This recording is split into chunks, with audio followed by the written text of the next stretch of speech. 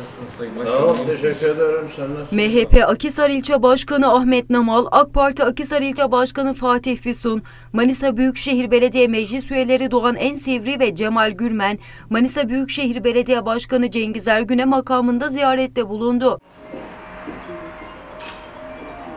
Başkan Ergün ziyarette Akisar heyetine Manisa Büyükşehir Belediyesi tarafından hazırlanan 4 ciltlik 100. yılında milli mücadele döneminde Manisa isimli kitap serisine hediye etti.